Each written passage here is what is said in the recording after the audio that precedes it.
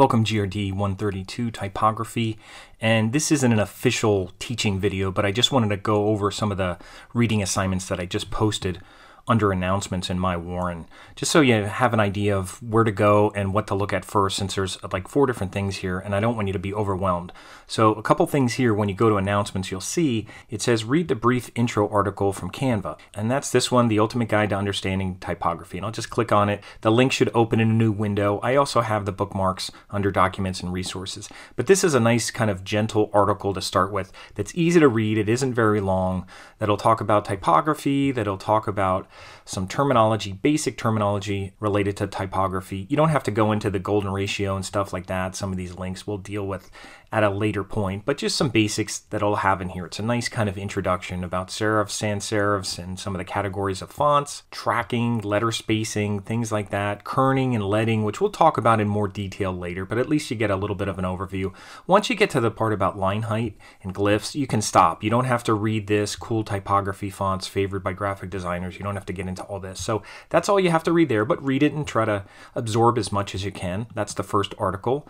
And then there's another very good article, a little bit more detailed, a crash course in typography from Jotform, and this is very good too. Now this goes in a lot more detail in the font categories, also the subcategories of fonts, the classifications, the different types of serifs. So it starts off with some anatomy and some terminology like the other ones, but then it goes into the different types of serifs, old style, transitional, and we're not worried about that right now. I just want you to know that there's serif, sans serif, slab serif, script, and decorative. We don't have to get into the subcategories like formal script and casual script. We'll talk about that once we delve into each area of the categories, but I'm just saying that because, you know, when you read about serif typefaces, you'll understand what serifs are and, and their readability and things like that, but you don't have to get caught up in this. Don't feel like you have to memorize all this terminology about old style and transitional and modern and stuff like that. You could read it, you certainly read it and go through it, but don't feel like you have to memorize this stuff.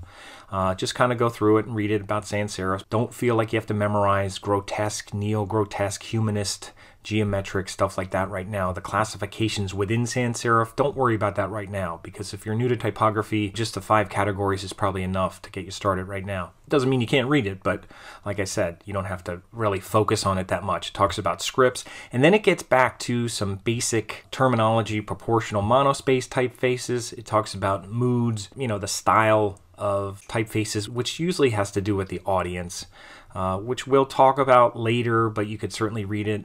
Weights and styles, proportion, and then it does get back into anatomy. So it, it gets back into anatomy, and this will be kind of an overview. Again, you don't have to memorize everything, but start getting familiar with the terms. Start reinforcing some of this because there's a lot of terms and it can be confusing in the beginning. But if you read through this, it might be a little less intimidating when you start reading the book. So, you know, be familiar with ascenders and descenders and things like that and some of these terms. Some of these terms are all related to one letter. You know, the, the ear, the link, and the loop are all part of a G. And I'm not going to ask every little detail about them, but you should get familiar with using the right term. So you're not using thingies and this thing sticking out. So you could say the leg or the tail or the counter and stuff like that. But you don't have to get too in depth with it just yet. So this is just kind of an overview, but it's a nice article. So read through this article. It's not very long, but it's a, another good introduction. So that's a crash course in typography. That's the second thing. And the third is your textbook, which is Exploring Typography by Rabinowitz. I have the ISBN number here. And again, if you go into Cengage, and I'm going to go into See It Like a Student, so I can see it like you, and I'm already signed on here. If you go into your homepage, now you're not going to see all these books like I have here, and you're not going to go into your courses either. If you haven't added this book yet, you'll put in the ISBN here and search it, and then you can add it. I already have it in here.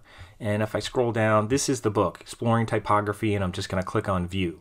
So it's just an ebook. This is the way you would read it. I know it's not great always reading things on a computer, but the chapter we're going to focus on is going to be physical attributes of type, not history of type, because we're doing that in the history of graphic design course, and it's kind of a boring way to start out. So I'd rather just learn about physical type to start. So we're going to start with chapter two here, and it's pages 46 through 58. So just go through this, and it's very detailed, and it's actually very good. It has a lot of detail, it has a lot of examples. I know it's a lot of stuff to kind of remember, and, and that's why I actually put a lot of this stuff on a sheet just so you know the terms because I know they have bold terms here and they have some of these definitions over here, but I put all the terms on a PDF sheet. It's actually a Word document. If you need that, let me know. But just so you know the things that you need to know. But this is actually a very good book. It goes through things nicely. There's some things I wasn't familiar with because I'm not an expert at every aspect of typography. I can identify a lot of fonts, but I don't know all the terms. I don't use those terms all the time, but I'm going to try to since we're taking a typography class.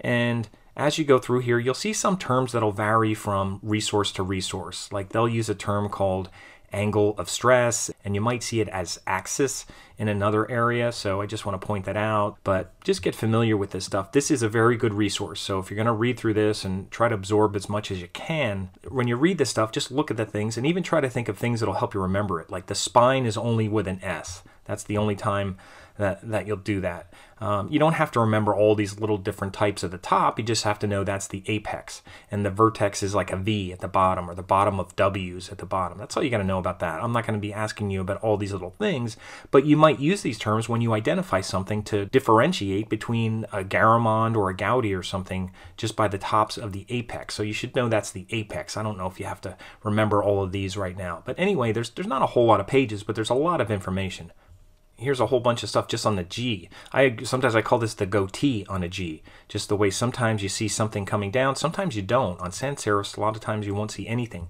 and sometimes they'll come down. So they call that the spur on here. I call it the goatee, but we should probably probably use the correct term. Same thing with the G. Here's the the loop and the link, and the ear on your G. So some of these are all with one letter. So all this stuff is defined here, but I'll show you another place where it has a lot of great definitions. There's a whole glossary we can look at. But if you go through here, you're going to go through to page, I think like 56. There's shapes of type. This is a little different when you get through here. There's some things talking about the, the brackets on serifs. They're talking about the barbs. Sometimes I just say, oh, well, the little thing's sticking out, but it's nice to use the correct terms for some of these. So these are helpful, especially even for me, because I don't use these correct terms all the time, but now I will, describing the tops of these serifs, the barbs on here, when we look at different kinds of fonts, especially ones that are very similar but have subtle differences in these characteristics. Also, here it's talking about angle of stress. The other glossary uses the term axis, and that's basically of, you know, how the thick, thin parts of the stroke are angled, and you'll you'll see pictures of that. You'll see you'll see a lot of this. Here's the, the angle. If you think about using calligraphy, if you ever use calligraphy, there's a certain angle you keep a pen at, and that's why some of these serif fonts have like a, you know, there's a fatter area. If you're using a flatter pen, there's flatter, and then when you come around the top, it gets thinner. And you'll see that with serif fonts. Serif fonts have this contour, they have thick, thin areas, and this angle is sometimes referred to as the axis. They refer to this as the angle of stress, just so you know that's the same thing. And x heights, the x height ratio, meaning the large X height compared to the cap. Like I said, sans serif fonts a lot of times will have a higher X height so they're easier to read at smaller sizes. So all this stuff, a lot of good stuff here and even this is even better. Not that it's going to be exciting, but if you ever heard the term picas and points and all that, and you didn't know what it is, then make sure you read this because this is a very good, I think it's like a page and a half on this. But we'll talk about the We'll talk about the terms leading, we'll talk about M space and N space and N dash and M dash and all that kind of stuff. So you should know this too. Even if you're into web typography, you'll see those terms. So at the end, they have a section here just about points. So it might involve a little math because a point is 1 72nd of an inch, just like a pixel is when you're using 72 pixels per inch. And a pica is 1 sixth of that. And we'll talk about that in measuring them and measuring point size. We measure point size of fonts, we measure point size of lines as well. And some of these terms come from old metal letter type, and we'll talk about that as well, and I'll show you some pictures and graphics of that. But anyway, I just want to get you through the reading. So that's all I think you have to read here. I think there's a chapter summary at the end. There's the chapter summary. So go over some of that in review. I might use some of this for quizzes and things like that, but I'm not going to try to be super specific because there's a lot of terminology here. I want you to get the, you know, the, the gist of it, the, the main idea I, I don't need you to memorize a whole lot of things, but I want you to start to speak a little more authoritatively when it comes to fonts and not using terms like thingies and stuff like that that we tend to do when we don't know the proper terminology. So anyway, that's the reading in the textbook. If you can have access to that make sure you read that. And I will do a video that gives an overview of some of this, that pulls some of this together. But again, I'm just going over the reading right now. So anyway, back to the announcements, and I almost got logged out.